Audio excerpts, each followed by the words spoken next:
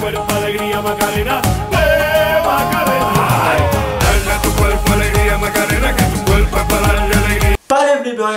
j'espère que vous allez tous très bien, on se retrouve pour une nouvelle vidéo. Pour l'OL, le retour, j'espère que ma petite intro vous aura plu, petite euh, dédicace à Carl Toko et Combi. voilà, avec euh, la petite intro.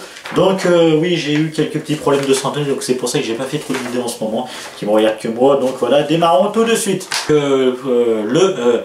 Le sommaire, en premier, la compo des équipes. En deuxième, on voit tout ce qui est aspect de match, tactique, etc. Tout ce qu'il y a à dire sur ce match. En troisième, euh, le résumé. Et en quatrième, les tops et les flops.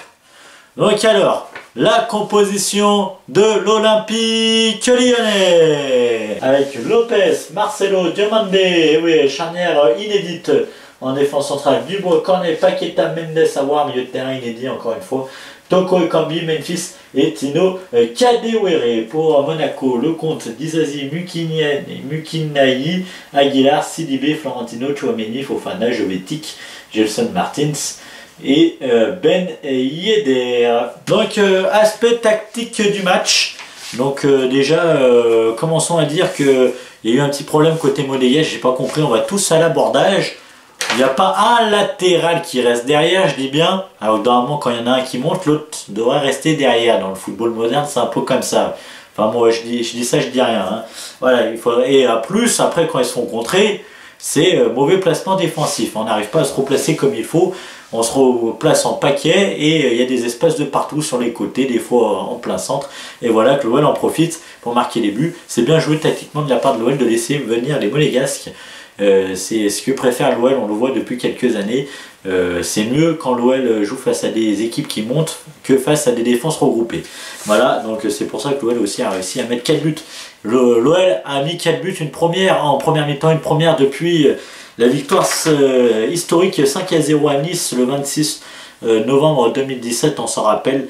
il y avait eu une victoire 5 à 0. Voilà. Et d'ailleurs, petite stat pour l'OL, je parlais des défenses regroupées. L'OL avait fait 35 tirs, euh, les 35 premiers tirs de l'OL, il n'y avait eu euh, que 7 buts, et ben là sur les 12 derniers tirs de l'OL, c'est 7 buts. Donc on voit qu'il y a une amélioration sur l'efficacité, et donc face à des défenses un peu moins regroupées aussi.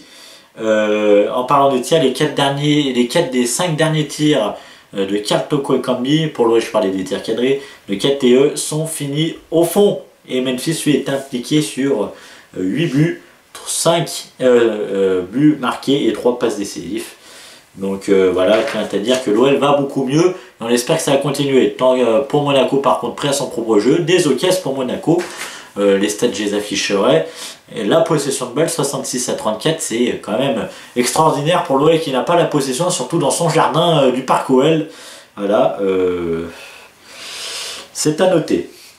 Donc euh, pour euh, l'OL, 6 euh, points à 6ème à 2 points de la 4ème quatrième et de la 3ème place.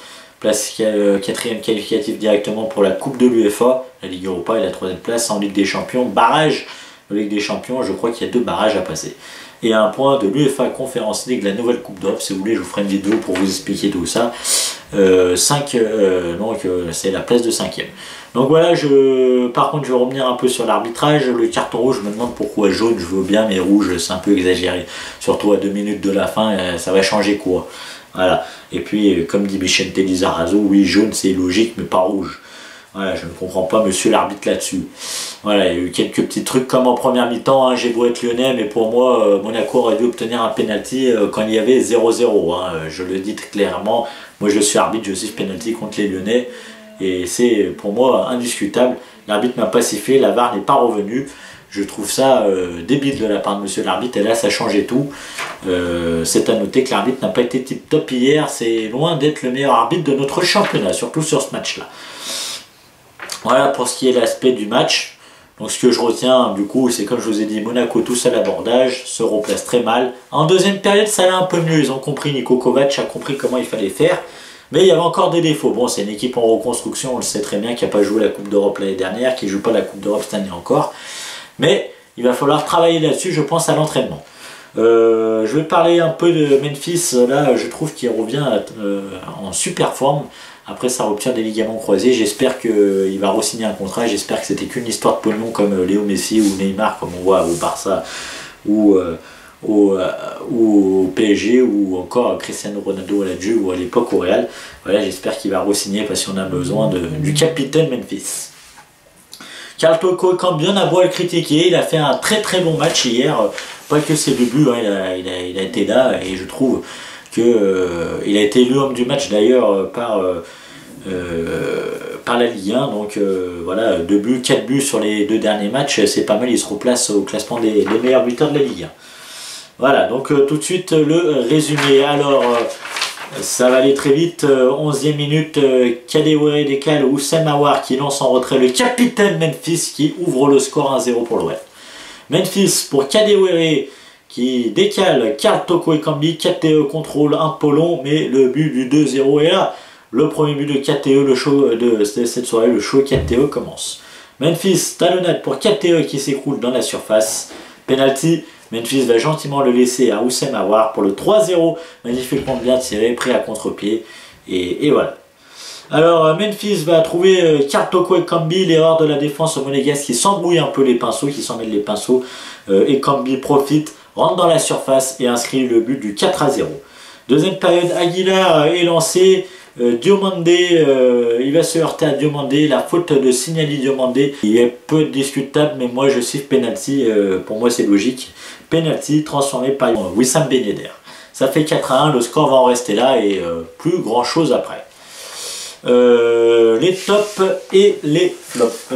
Le premier top, c'est le capitaine Memphis. L'état physique et technique du capitaine lyonnais est presque revenu à la, à la normale, impliqué directement ou indirectement sur 3 à 4 millionnaires, il est l'un des protagonistes de cette victoire. Toko Ekambi, l'international camerounais à la hauteur depuis deux matchs.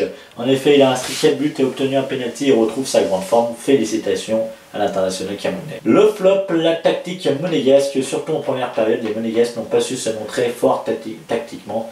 En effet, en partant tous à l'abordage du but lyonnais et avec un remplacement défensif médiocre, ils se sont fait prendre à leur propre jeu. Voilà pour les tops et les flops, on aurait pu rajouter monsieur l'arbitre, euh, vous savez très bien que j'aime bien casser euh, les arbitres. Bon là il a, un peu désavantagé Monaco il faut le dire. Euh, voilà, en première période parce que ça changeait tout. Voilà les amis, j'espère que la vidéo vous aura plu. Mettez un maximum de likes, abonnez-vous et commentez la vidéo. Et je vous dis, qui est Pali À la prochaine. salut les amis